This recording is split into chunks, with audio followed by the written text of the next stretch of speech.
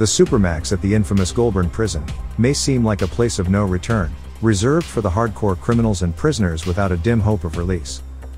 However, in the latest Supreme Court judgment, the Comanchero Sergeant at Arms has demonstrated to his fellow bikies that it is indeed possible to return, just as he once cheated death after being shot 10 times at the Sydney gym in 2022.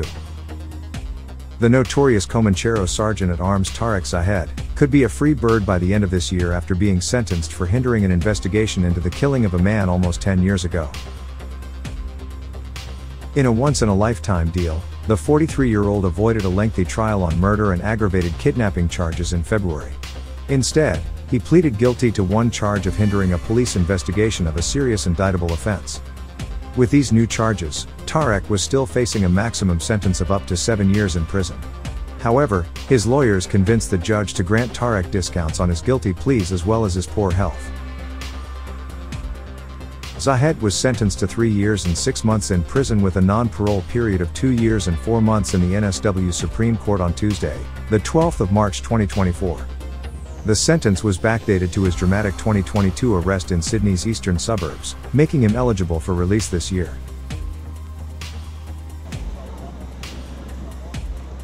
Although Zahed will be eligible for release by the end of this year, it will be up to parole authorities to determine whether this most awaited release happens.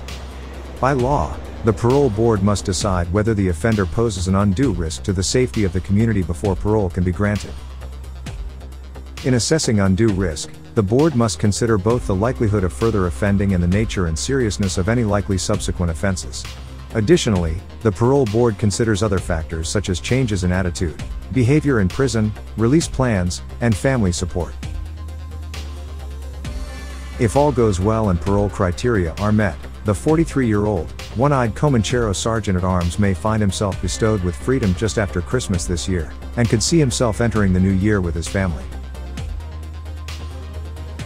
According to the court documents, in his guilty plea, Zahed accepted that he directed another man to destroy Yusuf Assoum's bloodied Volkswagen Touareg after Assoum was detained, assaulted, and shot inside it, hindering the police investigation into his unlawful killing in December 2014.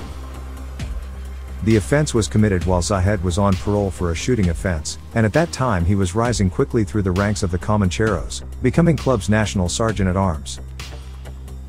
Zahed's life was dramatically altered after he endured a devastating ambush at a Western Sydney gym in May 2022, resulting in the tragic loss of his brother and leaving him severely injured. He sustained 10 gunshot wounds, resulting in physical impairment and substantial psychological trauma.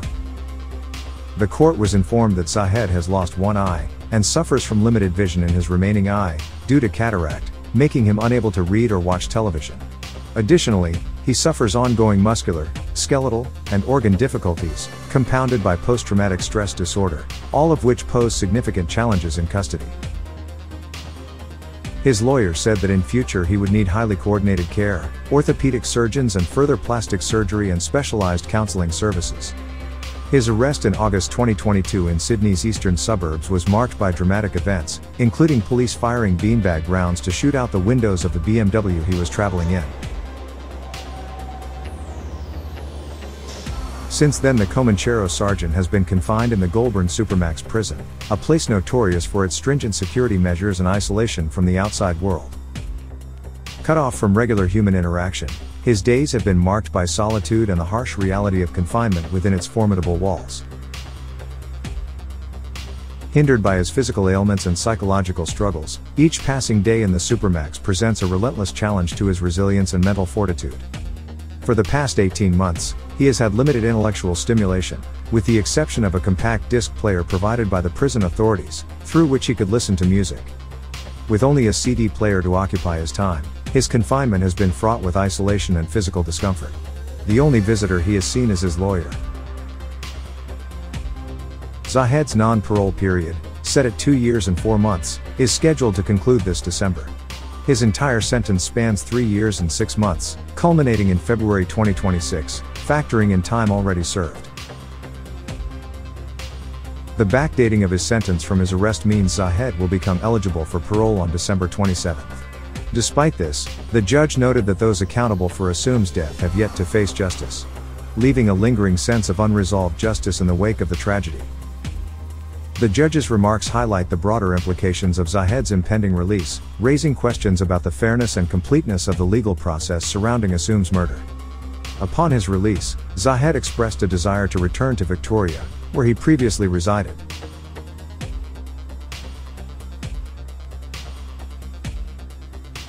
If you're looking for more exciting and eye-catching regular Bikie updates, don't hesitate, smash that subscribe button, spread the word rapidly, hit that like button, share your thoughts in the comments section, and for the true grid Spartans out there, consider sending a super thanks to show some love. It goes a long way in keeping us motivated and the channel thriving, as most of the videos on this channel are not monetized due to its crime-related content. Stay tuned, stay curious, stay awesome and take care. Wu-Tang.